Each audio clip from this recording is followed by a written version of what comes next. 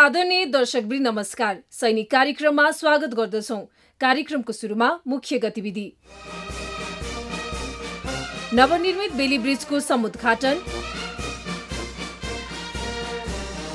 High level delegation टिमद्वारा mission इलाकाको निरीक्षण भ्रमण। जनहित तथा विपद व्यवस्थापन कार्यमा नेपाली सेना। शान्ति कार्य सम्बन्धी गतिविधि खेलकुद गतिविधि।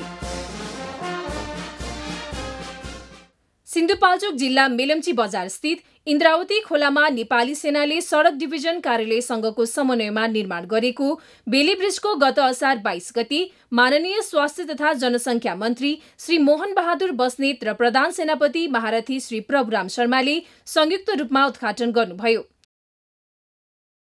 दुई हजार अठहत्तर साल श्रावणमा परेको भारी वर्षाका कारण आएको बाढीले उक्त खोलाको पुल बगाएको थियो। सो पुलको निर्माण पश्चात मिलेम्ची बजारदेखि इन्द्रावती नगरपालिका पाँचपोखरी गाउँपालिका र जिल्ला सदरमुकाम आवत जावतमा स्थानीयहरूलाई सहज भएको छ। गत असार बिस गति प्रधान सेनापति महारथी श्री प्रभुराम शर्मा र नेपालका लागि मित्र राष्ट्र पाकिस्तानका महामहिम राजदूत मिस्टर अब्रार हुसेन हास्मी बीच जङ्गी अड्डामा शिष्टाचार भेटवार्ता भयो। उक्त भेटवार्तामा द्विपक्षीय आपसी हित तथा पारस्परिक सम्बन्धका विषयमा छलफल भएको थियो। नगरकोट स्थित नेपाली सैनिक वार कलेजमा दुई हजार उनासी चैत्र एक गतिबाट सञ्चालित सिसम एघार हायर कमान्ड तथा म्यानेजमेन्ट तालिमको गत असार पच्चिस गति प्रधान सेनापति महारथी श्री प्रभुराम शर्माको प्रमुख आतिथ्यमा समापन भयो। कार्यक्रमको दौरान उहाँले तालिमका बेस्ट स्टुडेन्ट अफिसर महासेनानी वसन्त बहादुर गौतम तथा व्यक्तिगत शोधपत्रतर्फ संयुक्त रूपमा प्रथम हुनुभएका महासेनानी सुभाष केसी र महासेनानी वसन्त बहादुर गौतमलाई पुरस्कृत गर्नुका साथै समापन कार्यक्रममा सम्बोधन समेत गर्नुभयो।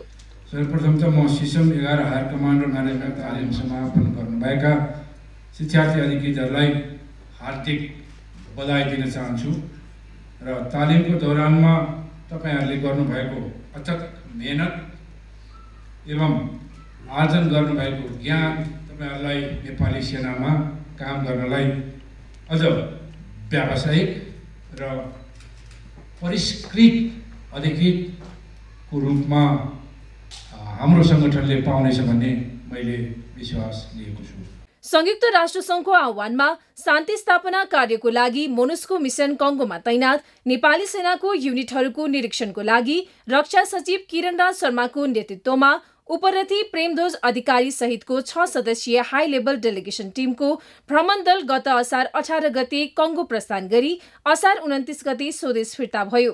भ्रमणको दौरान उक्त टोलीले मिसनका deputy special representative of the secretary general Khassim Diagne acting force commander major general बिनुवा Olivier चाभानाट लगायत अन्य उच्चस्तरीय व्यक्तित्वहरूसँग भेटघाट गरी शान्ति स्थापनार्थ तैनात फौजका विविध विषयमा छलफल गर्नुका साथै नेपाली सेनाको युनिटहरूको अपरेसनल र बन्दोबस्ती पक्षको निरीक्षण गरेको थियो। नेपाली सेनामा रहेका पुराना हवाई साधनहरूको आन्तरिक व्यवस्थापन गर्न इतिहास छल्कने गरी सार्वजनिक प्रदर्शनीमा राखिने प्रयोजनार्थ गत असार अठाइस गते एब्रो जहाज र एबुलेट हेलिकप्टर सैनिक हवाई सेवा प्रमुख पाइलट उपरथी आशिष नरसिंह राणाले नारायणहिटी दरबार संग्रहालय तथा गणतन्त्र स्मारक व्यवस्थापन तथा सञ्चालन विकास समितिलाई हस्तान्तरण गर्नुभयो। सुर्खेत जिल्ला चिङ्गाड गाउँपालिका वडा नम्बर पाँच अबलचिङ क्षेत्रका स्थानीय बासिन्दालाई लक्षित गरी कालीबहादुर गढ र नम्बर चार फिल्ड एम्बुलेन्स गुल्मको संयुक्त आयोजनामा गत असार तेइस गते निशुल्क स्वास्थ्य शिविर सञ्चालन गरिएको थियो। उक्त स्वास्थ्य शिविरबाट एक सय त्रियानब्बे जना सर्वसाधारण लाभान्वित भएका छन्।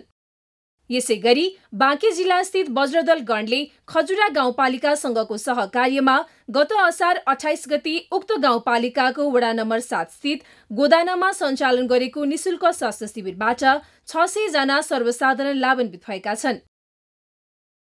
पाल्पा जिल्ला रैनादेवी छहरा गाउँपालिका वडा नम्बर चार स्थित छहरामा दि फेमस महेन्द्र दल गणले निर्माण गरेको नाइट ल्यान्डिङ क्षमताको हेलिप्याड गत असार सत्ताइस गते मध्यपश्चिम प्रतनापति उपरथी याम प्रसाद ढकालले उक्त गाउँपालिकालाई हस्तान्तरण गर्नुभयो।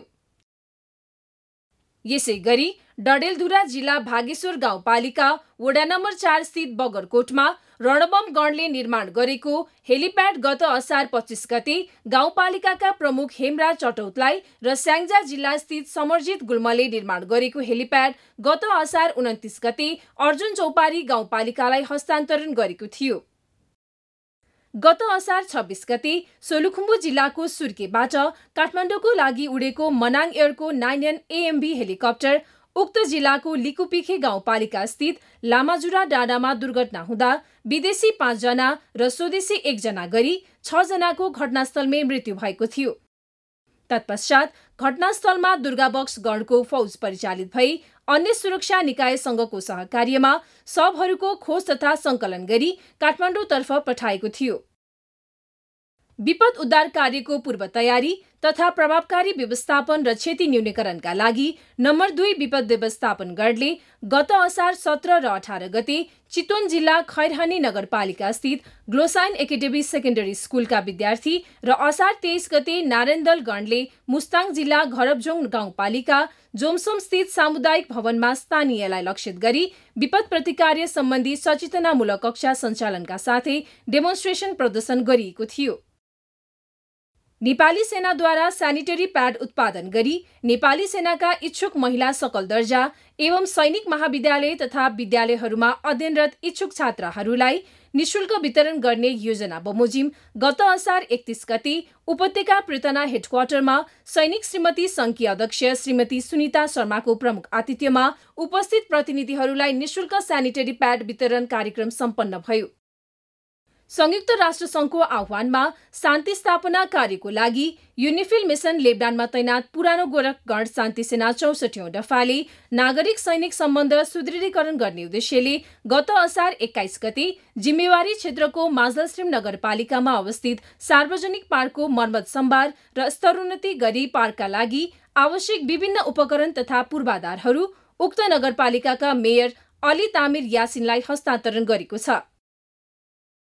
यसै गरी अन्मिस मिसन साउथ सुडानमा तैनात शेरगढ शान्ति सेना बाह्रौं दफाले गत असार छब्बिस गते लेक स्टेट रुम्बेक स्थित मलेक प्राथमिक विद्यालयलाई स्टेसनरी स्कुल ब्याग छाता लगायत खेलकुद सामग्रीहरू हस्तान्तरण गरेको छ।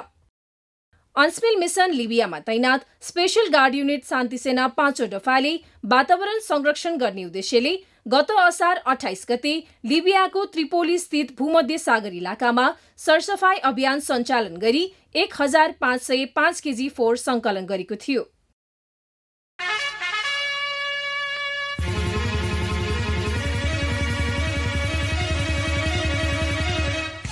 काठमाडौँ जिल्ला बुढानीलकण्ठ नगरपालिका वडा नम्बर दुईमा गत असार सत्रदेखि बिस गतेसम्म सञ्चालित प्रकाश दाहाल स्मृति तेस्रो महिला तथा पुरुष राष्ट्रिय खुल्ला बक्सिङ प्रतियोगितामा नेपाली सेना त्रिभुवन आर्मी क्लबका खेलाडीहरूले नौ स्वर्ण छ रजत र पाँच काँस्य गरी जम्मा बिस पदकका साथ टिम च्याम्पियन बन्न सफल भएका छन्।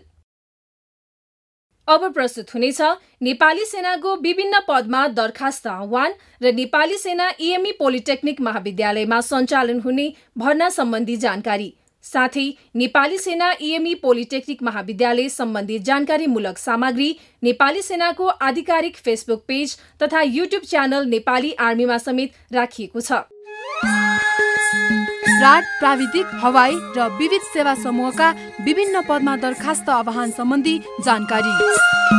नेपाली सेनाको स्वीकृत दरबन्दीभित्र रिक्त रहेको प्राड प्राविधिक हवाई र विविध सेवा समूहका विभिन्न पदमा दरखास्त आह्वान गरिएको छ। खुला तथा समावेशी प्रतियोगिताबाट पदपूर्ति गर्न लागि उक्त ट्रेडहरूतर्फका अधिकृत पदिक तथा बिल्लादार पदहरूमा मिति दुई हजार असी असार उनातिस गतिबाट नेपाली सेनाको केन्द्रीय भर्ना छनौट केन्द्र स्वयम्बुमा दरखास्त आह्वान भएको हुँदा तोकिएका योग्यता पुगेका इच्छुक नेपाली नागरिक स्वयं उपस्थित भई दरखास्त पेश गर्न आह्वान गरिन्छ।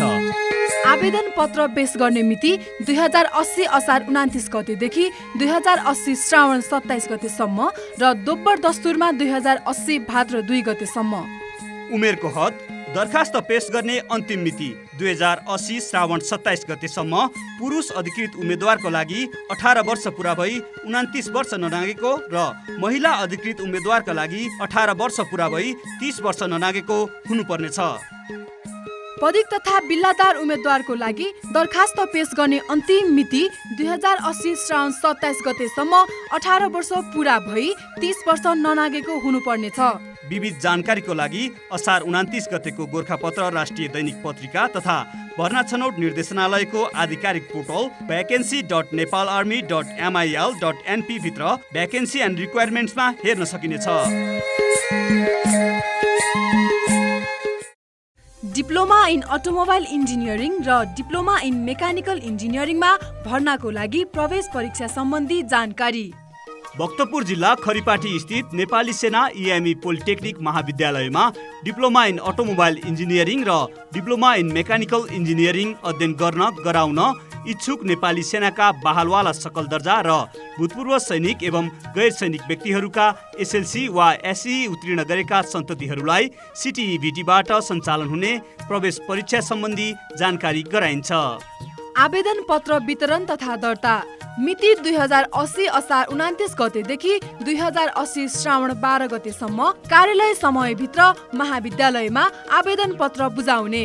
सम्पर्क तथा प्रवेश पत्र वितरण मिति दुई हजार अस्सी श्रावण एक्काइस र बाइस गते दस बजेदेखि पाँच बजेसम्म। आवेदन पत्र पाइने र बुझाउने स्थान। आवेदन पत्र सिटिभिटी परिषदको वेबसाइट डब्लु